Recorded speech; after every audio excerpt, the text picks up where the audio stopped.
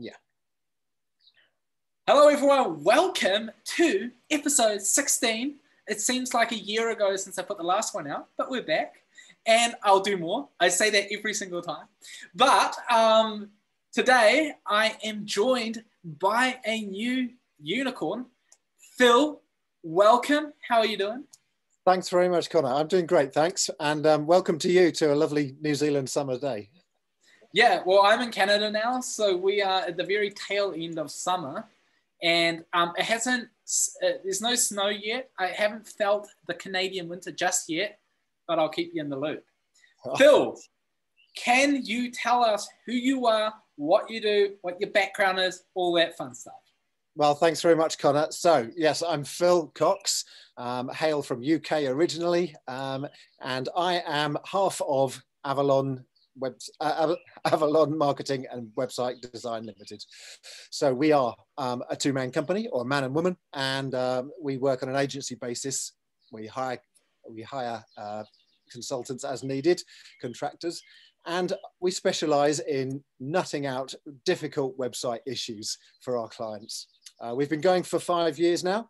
Um, Avalon itself was a marketing company, and been going for about 10 years before that, but we added the website design bit um, about five years ago, and we've been going from strength to strength ever since.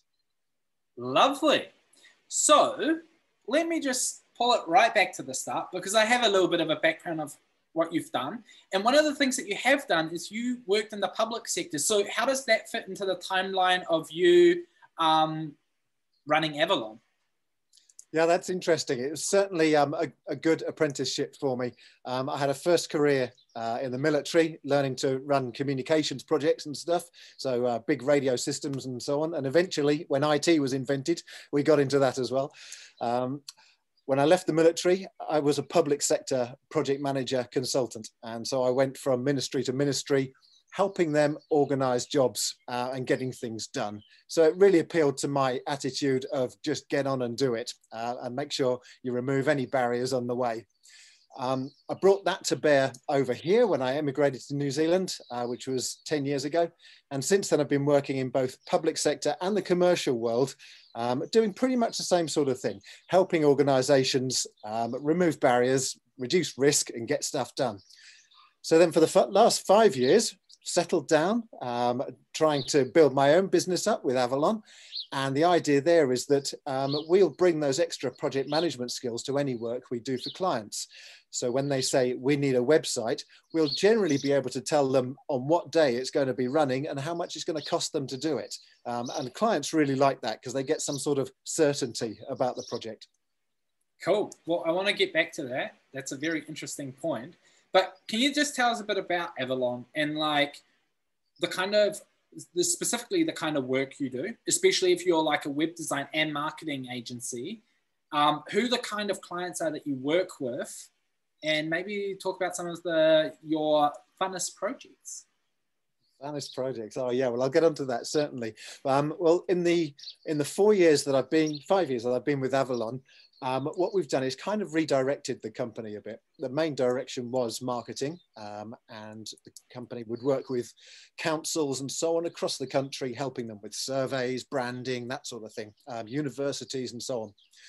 Um, since adding the web design side, my focus has been to, um, to build a reputable brand and an approach about uh, solving nutty business problems with websites.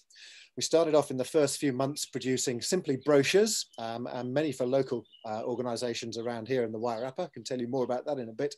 Um, mm -hmm. But the problem with websites is it's not like going into a shop and saying, I liked what you sold me last year, can I have another one? with websites, you generally just sell one and maybe improve it over, over time. And that's been my focus. But we have to keep looking for new customers. So it's taken a different sort of business development approach to what I've, what I've been used to in the past. Um, so we're out there reaching out for organizations that have difficult business problems. They're wasting time on paperwork um, or on other manual processes. And we can bring the solution in a website that's visible to either just them, just their staff, or indeed the public. Mm -hmm. Some interesting uh, some interesting jobs have come out of that. Um, we've had some really great clients over in uh, UK where we're responsible for the I Love Cowes website. Um, that's Cowes with an E, the city rather than the animal. Um, I say that surrounded by paddocks and a number of cattle beasts uh, as I sit here. But um, the I Love Cowes website is about um, is about engaging business with tourism and making sure that visitors know what's available when they come to visit the city on the Isle of Wight. Um, that's been fascinating and it's been about events, advertising, some really good um, search engine optimization, getting themselves seen on Google, um, and generally selling tickets to stuff as well to, to, to, uh, to get the money coming in. So, can I specifically touch on this? Um, yeah. So, you know, working with councils or government organizations is something that I think a lot of people who work in the creative space aspire to because there's somewhat decent income. You know, like it's sometimes it's more consistent and higher paying than some companies in the private sector, but it's very hard to get your foot in the door. How did you approach getting your foot in the door with these councils? Yes, it is. Yeah, that's a really good point. Um, a number of ways. Um, I can just think of the ones off the top of my head. Um, I'll give you an example for the Chamber of Commerce in Wairarapa. It's, a, it's been a partnership. We haven't just sold them a product, we've held their hands all the way through. Chambers of Commerce are generally charitable organizations. They're not flush with funds. And so they need to know they're getting a really good deal and that they're not risking the, the, members, the members' money that they've contributed.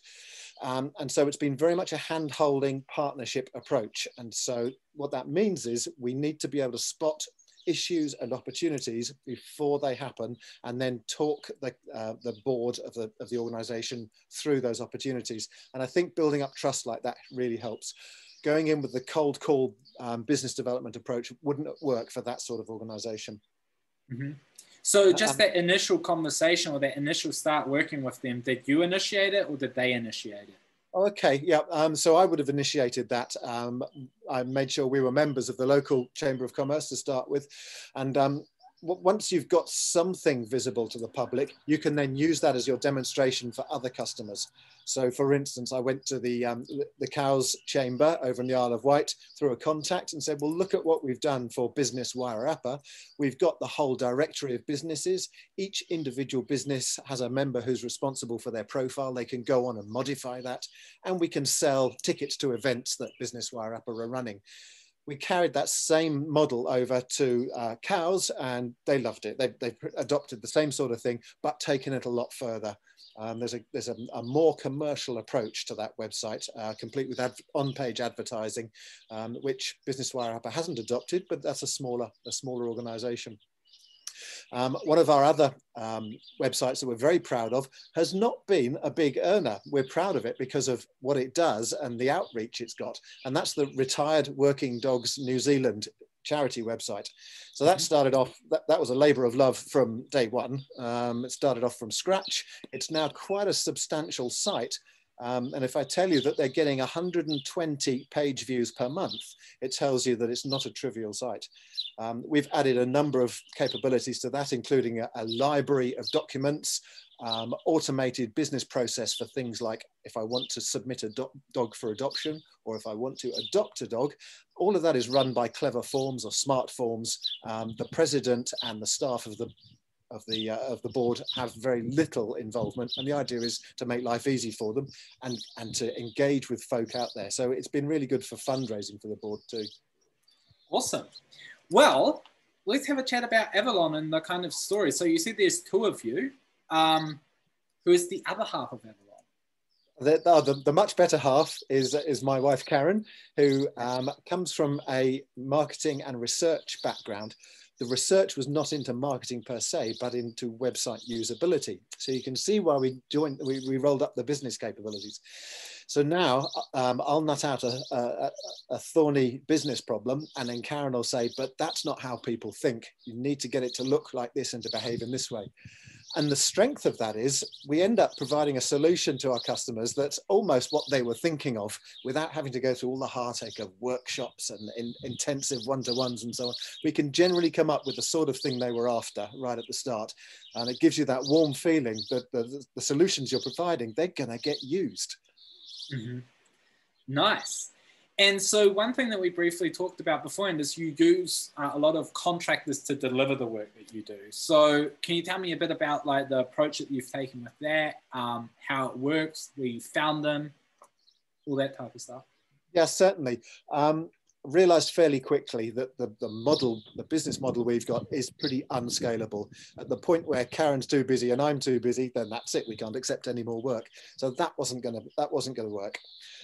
We looked at employing and we don't have the turnover to safely employ consistently. So uh, we discounted that. But con contracting works really well for us we've identified and built up trust with a number of individuals, each with their own niche skills, that we can ring up or email and say, "Are you free for the next couple of days?" and drop them some work. Uh, they'll they'll work on it remotely and then let us know when it's done. Some of those contractors are local. We have uh, a couple of great graphics design folk here around the Wairarapa who do really high quality work. We've got a lady who comes from um, the li library and information management side of public sector, and she's absolutely spot on with some of the views of how information management should work. So I often get, get her advice when working on the site. Um, and we have a couple of contractors over in UK as well. Um, and so that helps us with the time zone difference because quite often they can deliver solutions by the time I get up the next morning, which is hugely efficient for, uh, for getting, getting stuff moving. Mm-hmm. Yeah, no, I've discovered the same thing. Like working with um, businesses in New Zealand, you know, I work with other freelancers on the Unicorn Factory, the place yep. to be if you're looking for freelancers. But yeah, they work during the day. I work when they are asleep. It's like a 24 7 service that we offer more a 24 5 service because we don't work on weekends. um, okay, well, so I'd be super interested to hear like how you manage um, these contractors when you work across different time zones, or do you manage them? Do you take like a more hands-on role when you're working on the projects, or are you purely project managing it all? It's interesting. I'm, I'm looking for their creativity and I don't want to box them in too much. There's a risk that if I say, I need you to do exactly this, then all they're going to produce is what I could have done anyway. Um, that's fine if I'm just running out of time, but I need um, more of their input than that. And I think customers pay us for some of the breadth, breadth of input that they get. So I'll give them a fairly loose description of what the solution needs to be able to do and I'll give them a rough idea of how much effort I think is needed. And because of the trust that's built up over the time we've been working with them, they, they know pretty much the sort of thing I'm trying to do. And they'll go and build um, or design and come back to me with one or two options and say, were you thinking of this sort of thing? And, and they've never missed the mark doing that. It's not the same as a contractor that I haven't met before and I'm taking on, um, say, a strength of a CV uh, in another country, perhaps, that can get really tricky. There's a lot of risk involved in that. And I admire the guys who run jobs like that. That does take a lot more project management. I think I'm lucky that my the contractors I use make it easy for me, I think. Mm -hmm. Awesome. Well, one thing that I wanted to talk to you about is potentially, you know, the impact that this whole pandemic has had on your business over the last, because I mean, it is a big factor. And like, it would be, in, I'd be interested to hear your perspective on it, like how it's changed your business, how it's impacted your clients' businesses, and maybe like what kind of adjustments you've made along the way to kind of, um, yeah, I suppose adjust to this new situation that we all find ourselves in. Yeah, yeah, that, that that's really key.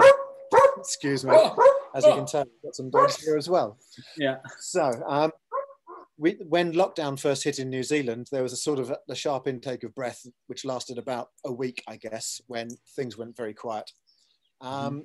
In true Kiwi fashion, um, businesses were incredibly receptive to new ways of working, um, very resilient.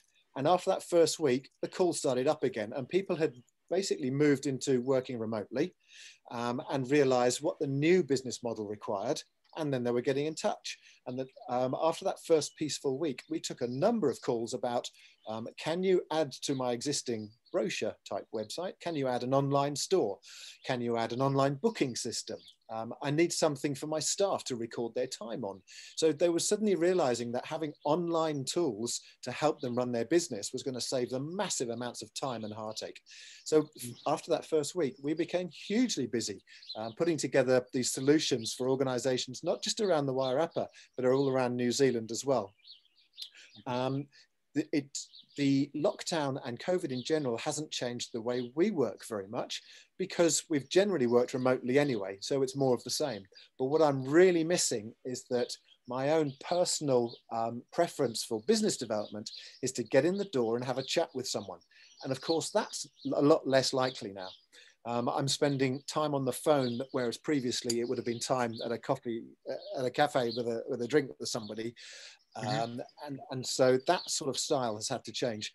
Um, phone, phoning is still pretty effective. I, I, hate to go back to just pure emails. I need to talk to people, I think, to get my points across. Um, and people react well to that. So as long as I'm still able to engage through Zoom, through phone calls and so on, then it's become less important to spend time over a coffee. Uh, but that's been the change to the way we've, the way we've worked. The clients are still coming, which is good to see. Uh, through Unicorn Factory, we're reaching out. Um, we've got new clients in Auckland, uh, Christchurch. So I think what the organization has done for us is increased our reach. We're no longer just um, Avalon marketing and website design in the Wairarapa. We've, uh, we, we, we always were keen to reach out and look for customers in UK, in Wellington and so on.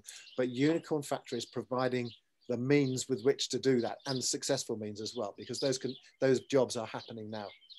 Mm-hmm. Um, cool. Well, I appreciate it. That's very good to hear. but um, what I want to get back to you to hearing about your approach of finding clients. So, so you are a person that prefers like the in-person conversations.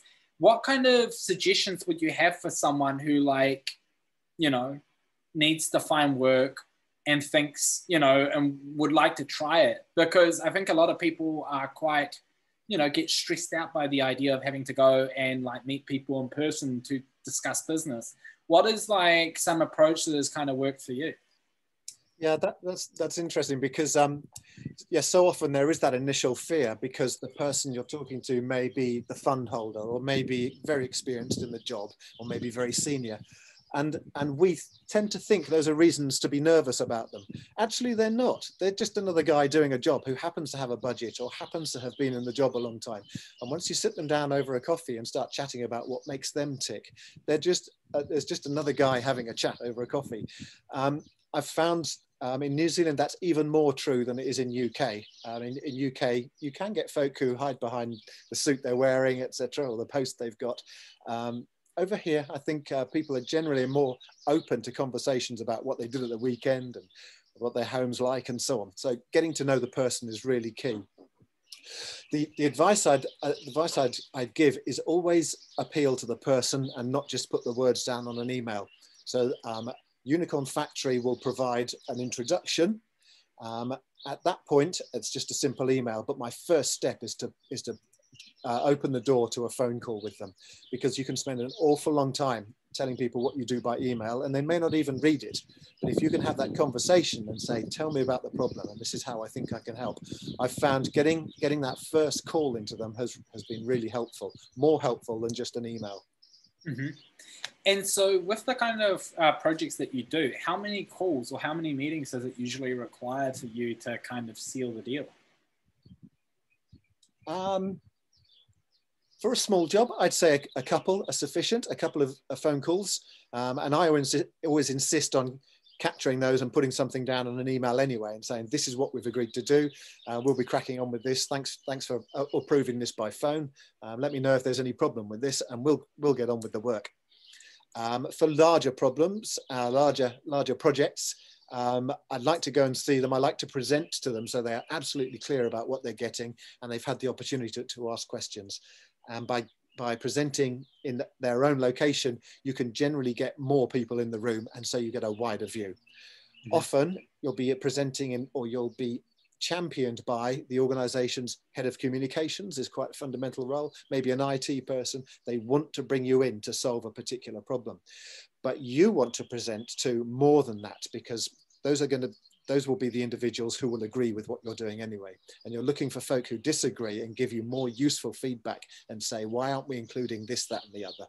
That's really important. So if you can get to present to an audience of five or six folk in a, in a workshop or in a presentation, that will be worth a lot more to you and will improve the quality of the finished product. So for those bigger projects, um, a number of calls, some emails and backwards and forwards, and then maybe a PDF describing your proposal, and then finally a presentation. So they're worth they're worth the extra commitment.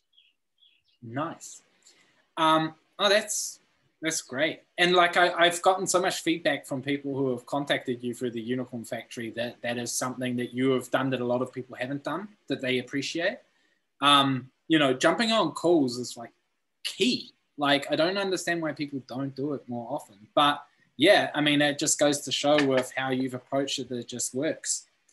Um, I find cold calling still the same challenge that everybody else does. Um, so it's this this isn't this discussion we're having now is not the same as cold calls, which are really difficult. I absolutely get that, and I avoid them as much as everybody else does. But these calls we're talking about are not cold calls, they're just about taking the relationship forward. So, like, so with the Unicorn Factory, work comes to you, but do you also have any strategies that you put in place besides going, like, or how do you find new work if you have to?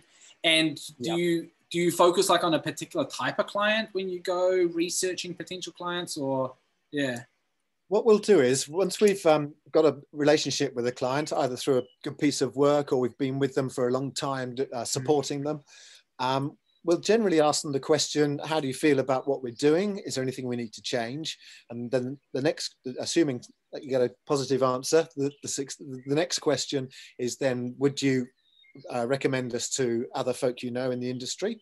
Um, and who would you talk to? What would you say? Let's get the wording right and um, let us know what feedback you get. And can you get us an introduction to go and speak to them? So we would use successful clients to recommend us and get us a toe in the door so that we can start the same conversation again with colleagues of theirs. Um, and you end up with this sort of tree-like structure as each individual introduces you to a bunch more. Um, that doesn't assume that all of this is going to be successful. The reason you're going for one to many to many more is because a number of them are going to fall by the wayside. But if you can keep getting one or two good leads out of each customer, then that's going to keep uh, keep the machine rolling along. That's fantastic. So, um, what is the plan for Avalon marketing and web design then? So over the next few years, do you are you someone that makes a specific plan or set specific goals, or do you like kind of just rolling with the punches and kind of just you know ad- adapting and adjusting in real time? Well, we've we've certainly had to adapt and adjust as as challenges have come up. Our aim at every re- annual review with our accountants, our aim has been next year we're going to double our turnover. I don't think we've actually achieved that in any particular year, um, but it gives us that sort of focus of what we've got to do better. And it starts the conversation with the accountant of, well, you're spending too much on coffees or you're spending, you're not earning enough on, uh, on hosting fees, for example. So uh, that sort of focuses the conversation. Yes, it would be great to double turnover. And, and what would be even more important to me would be to get to the stability and the income where we could employ um, Wairarapa, just like everywhere else, um, needs to find extra jobs for folk. Now, we don't need web experts, we don't need design experts. We need people who are willing, willing to learn and to understand the challenges we have and learn to address engineering challenges. That doesn't make them a web expert, but if they can come to us with that sort of attitude, then it'd be lovely to be able to take them on on a permanent basis. Awesome. Well, we're approaching the final section of our little interview, and I usually reserve this last part to um, let you share some tips and tricks for upcoming web designers or marketers. How can they get in the industry? What is something that you wish you knew a long time ago? What is something that you can share with people watching this? I think one of our biggest strengths is something that it took me a while to learn, and so that definitely falls into the the bracket of something I wished I'd known from the start. And that is because you approach this with lots of I've got the determination and I'm going I'm going to succeed in this. You don't always think wider. But the real strength has come, and, and our clients love this. It's on the strength of the relationships with the support teams. Now, you could call that contract contractors, I guess, but it's the it's the organizations that perhaps have authored some of the software we use or provide some of the services services we use. Um, what I've found is by treating them with respect and insisting on the occasional voice call or Zoom call and not just emails, we've built up a relationship with them, which means when they see a question from us, it floats to the top of their in tray, they get on with it, and we get reliable answers quickly, which means I can go back to the customers quickly with, with, with responses. Um, and that includes the range of uh, hosting that we use, the themes that we use, and the narrow set of plugins that we rely on, things like smart forms and so on. Um, although every engineering problem is different for websites, the solution is so often built using the, uh, uh, our same sort of hosting, our same sort of themes, our same sort of form software, and then the clever stuff goes in on top of that. Now, if I can rely on the people that provide all that stuff for overnight solutions, then I can go back to the client with a really good service. I love it. So basically, build your relationships with the contractors you work with, and then you can always deliver. Yeah, Fantastic. Cool. Phil, how can we find out more about you? How can we get in touch with you? Well, I've I've got a, a kind of a slightly dusty CV sitting on uh, LinkedIn, and uh, so so I'm always on there. But my main my my main modus operandi right now is through is is through Unicorn Factory. I'm I'm use, using it regularly. I'm watching the stats. Um, I point to it using my Facebook profile and so on. I think um, the the benefit of the way Unicorn Factory works is by getting exposure out there. And if I can share my Unicorn Factory profile and links on the other media that are around, then that gets gets it in front of people. You can never have it in front of too many people. And if it means going onto LinkedIn and saying, "Hi, I did this video on Unicorn Factory. Go and have a look," then that's the way to do it. That's awesome, Phil. I appreciate your time. It's always fun chatting to you. And for everyone else, um, yeah, that was episode number 16. Um, and we're going to have plenty more of these coming. Plus, now that I'm really getting this whole setup sorted out here, we're also going to be do some additional content that you'll be finding out about soon. But thank you very much for watching this entire video. And all the links um, reference talking about different things, like um, the link to Phil's profile will be down below. And I would love to hear from you. If you have any ideas, comments, all that kind of stuff, please let us know. Other than that, have a fantastic day.